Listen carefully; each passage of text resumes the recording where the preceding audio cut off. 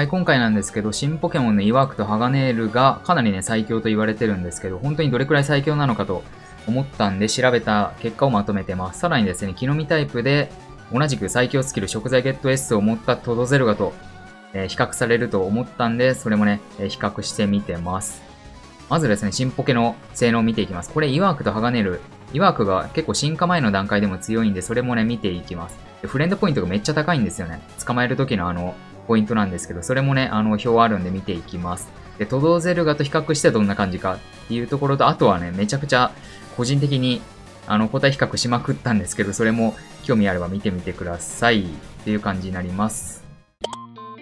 はい、まずですね、性能を見ていくんですけど、イワークとハガネールの性能を出してます。えー、進化後にね、あの、木の実が変わるタイプのポケモンになってますね。イワークはオボンの実で、トープのトープ洞窟の適正木の実となってます。スキルが食材ゲット S なんで、めちゃくちゃね、強いです。木の実タイプで食材ゲット S は、木の実も集めつつ食材も集めれるっていう感じになってくるんで、結構ね、あのー、汎用性高いですよね。で最大種類数が進化前から22っていうことで、めちゃめちゃ多すぎますね。はい。で、お手伝い時間が3100秒ということで、ここにいます。結構早いですよね。進化前でここっていうのは、進化しないポケモン、アブソルとか、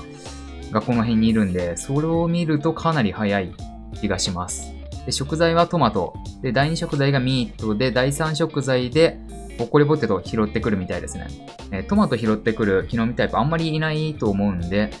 うんまあ、そこは結構いい気がしますね。で、ハガネールになると、えー、ベリグの実という木の実になります。これ後でも木の実表も確か出すんで、えー、そこでも話そうと思うんですけど、鋼タイプの木の実となってますね。で、まあ、スキルは変わらずですが、最大所持数が2枠から進化させるとレベル、マックス30になるということで、めちゃくちゃ多いですね。お手伝い時間に関してはそこまで差がないですね。ちょっと早くなってるけど、木の実のあのエナジー量っていうところも上がってるんで、そこでもね、差は開いてくると思います。えー、今、適正木の実の島はないですね。ハガネールはちなみにここに、ここにいます。はい。ちょっと上がった感じですね。で、食材は変わらずといった感じの性能になってます。で、捕まえる時のフレンドポイントっていうところなんですが、えー、高いフレンドポイントのポケモンたちを集めてるんですけど、バンギラスがね、25ポイント必要ということで、トップにいるんですけど、ちょっとね、まだ出て、あの、捕まえることができないポケモンも入れてるんですけど、一応、えー、フレンドポイント20あたりが結構多いんですけど、ここら辺になってまして、パガネルもここにいると。イワークはここにいますね。結構進化しないポケモンとか、あの、進化後のポケモンと同じところにイワークいるっていうね、なんかちょっと高くないって思うんですけどね。はい、こう見ていくと、進化しないポケモンが多いですね、この辺。いや、結構ね、イワーク厳選めちゃくちゃ大変だと思います。はい、そしてですね、トドゼルガと比較していこうと思います。なぜトドゼルガと比較するかというと、同じく木の実タイプで、えー、スキル食材ゲット S を持ったポケモンということで、結構ね、あのトップクラスの性能をトトゼルガしてるんですけど、トトゼルガについての、えー、詳しく話した動画もあるんで、興味あれば、え、見てみてください。で、トトゼルガの性能とざっと見た感じ、まあ、所持数だったり、スキルだったり、結構似たところはあるんですけど、お手伝い時間も全く一緒ということで、木の実のね、あの、エナジー量っていうところで、えー、獲得する差が出てくるのかなと思うんですが、えー、トトゼルガに関しては、玉ザラシが進化前なんですけど、トープ洞窟以外で出現します。で、ウノハナ雪原の適正木の実となってまして、まあ、ウノハナ雪原のエースですね。で食材ゲットエースで、厳選はかなりしやすい方かなと。まあ、シアンの砂浜とか、ウノハナ雪原では結構玉ザラシ出てくるんで、で、フレンドレ、フレンドポイント5ということで、ゲットはね、かなりしやすいです。対するハガネールは、トープ洞窟のみ出現ということで、イワークもですね、これがね、正反対となってきてますね。で、イワークがトープの適正木の実なんですけど、ハガネールは適正木の実は現状なしとなってます。で、食材ゲット S で、もう本当にね、さっき見てもらったと思うんですけど、イワークの時点でフレンドポイント16ということで、厳選しようと思ったら木の実の数 S が欲しいところにはなるんですけど、超ハイ課金向けかなと思います。もう、木の実の数 S 持った曰くゲットしたら、超極運だと思いますね。ハガネールを直ゲットしようとした場合でも、フレンドポイント20入れますといった感じで、ここの厳選のしやすさっていうところが、桁違いとなってますね。ハガネールに関しては現状、あの、適正木の実がないんで、進化させるのもどうなのかなっていうことはちょっと思いますね。はい。で、答え比較やっていこうと思います。レベル30の無補正、木の実の数 S。まあ、現実的には、ではないと思いますね。今のところ。で、えー、個体比較サイトで食材も入れた時にちょっと数値おかしかったんですよね。なんで、今回はちょっと木の実のみ拾ってきた場合という感じで比較してみてます。で木の実のエナジー量っていうところがこれレベル1の段階なんですけど、エナジー量っていうのが違います。えトドゼルガはチーゴの実なんで、32、ここですね、トップ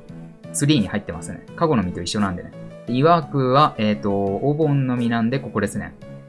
で、ハガネールはベリーブの、ベリーブの実ということでトップ2に入ってきてますね。まあ、ちょっとの差ですけどね。はい。トップはヤチの実のドラゴンタイプとなってます。で、木の実の数 S を持っていると、イワークは1万2000くらいエナジー量1日で稼ぐと。で、ハガネルは1万3700。トドゼルガは1万3100ということで、まあ、これだけ見るとね、あの、ハガネール勝ってるんですよね。結構トップクラスの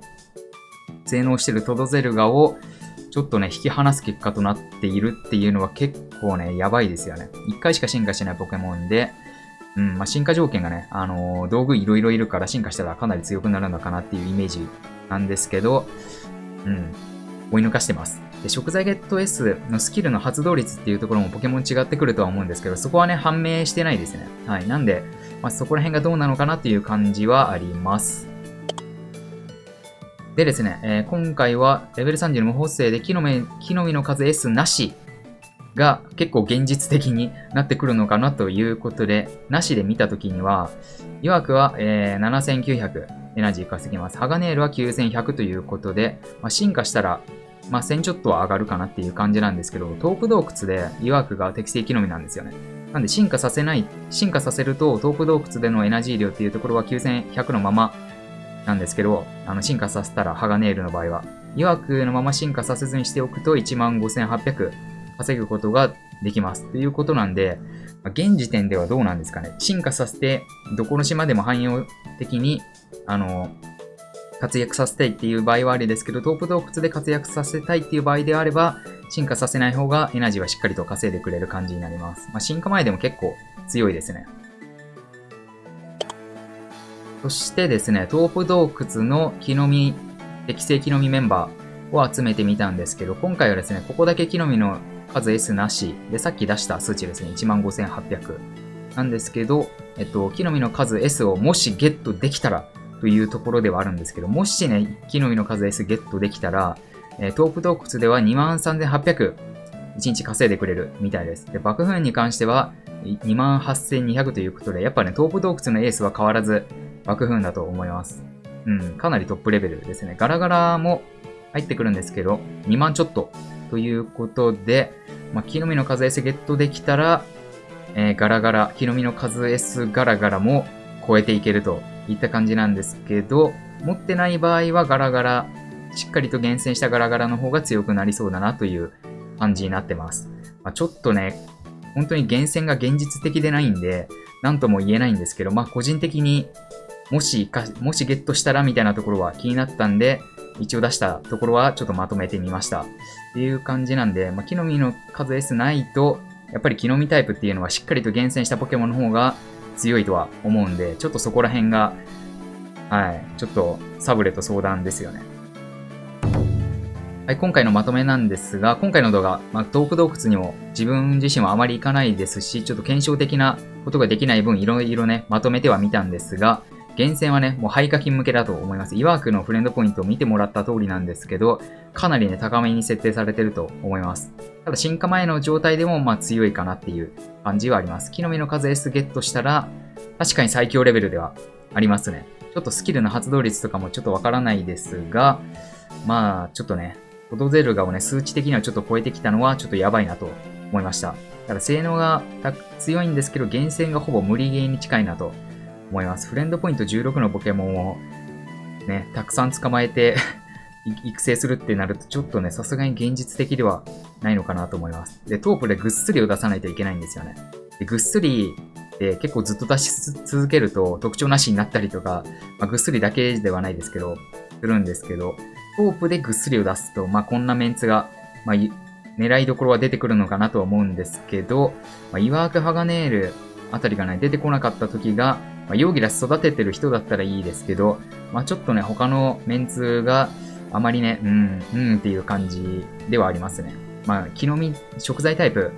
でちょっと育成したいっていう方にはちょうどいいかもしれないんですが、ちょっとそこはね、あの、個人的に引っかかりました。で、食材トマトはまあ優秀なのかなと思います。あまりいない気はしますね。あの、木の実タイプで。で、ポケスリの運営さんって、あの、ツイッターの動き見てるとかなりユーザーの声聞いてるんですよね。他のソシャゲもしたことあるんですけど、ここまでユーザーの声聞いてすぐ反応するソシャゲ運営の人ってあんまり いないと思うんですよね。なんで、かなりね、声聞いてくれる分にはいいと思うんですけど、今回ね、イワークのフレンドポイント高すぎるっていう意見はね、かなり出てると思うんで、もう少し厳選優しめなポケモンは出てきそうだなと、ちょっと思いましたね。まあ、ベリブの実が、えっと、適正木の実の島が来た時に、他の木の実が適正木の実の島が、適正木の実がどうなってくるかっていうところが結構ね、あの、関係してきそうですが、まあ、ちょっと適正木の実の島来たら確かに S 級にはなるとは思うんですけど、まあ、他のポケモンもね、厳選しやすいポケモンがちょっと後々出てくるのではないかなと思ったりは個人的にしてます。ただ、運営さんはかなり頑張ってくれてるとは個人的に思います。なんでこれからも運営さん頑張ってください。ということで今回これで動画を終わろうと思います。よければチャンネル登録よろしくお願いします。